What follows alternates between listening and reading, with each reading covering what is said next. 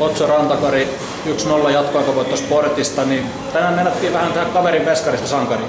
No joo, ei se yrityksestä jäänyt kiinni, mutta tänään, tänään ei varsinaiselle vielä lupannut, mutta hyvä, hyvä tuppas sitten jatkoajalla. Et, et ei se yrityksestä jäänyt kiinni, mutta hyvä, että saatiin voittaa.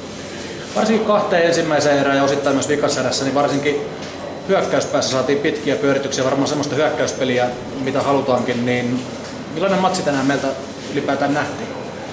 Siis mun mielestä hyvä peli, ja, tota, mutta sitten sit vaan maalit jäi, jäi juupu, että se oli pari tolppaa ja vähän piti tilannetta ja näin päin pois. Et niihin vaan lisää terävyyttä, niin, niin, niin ei tarvi ihan niin kuin näin pitkä kaava kautta mennä. Että, mutta kokonaisuudessa ei ole hyvä peli, että nyt tänään jäi vaan maalit puuttuu.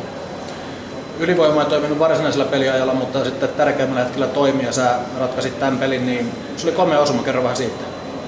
No siinä hierottiin Miksan kanssa aikamme ja tota, sitten mä päätin siihen viimeiseen syöttöön, että nyt ihan sama mitä käy, niin mä vedän tuohon. Ja, ja tota, hyvä, että, hyvä, että upposet teki ihan nannaa.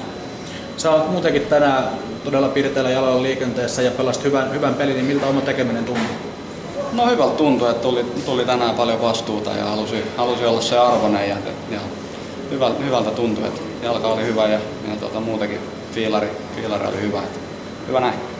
Seuraava peli perjantaina paikallispeli ja Ilves on kovassa lennossa, eli kova peli luvassa, niin mitä meidän pitää nyt pystyä parantaa sitten perjantaina?